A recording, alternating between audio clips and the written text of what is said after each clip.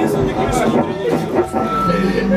миграцию пишет, что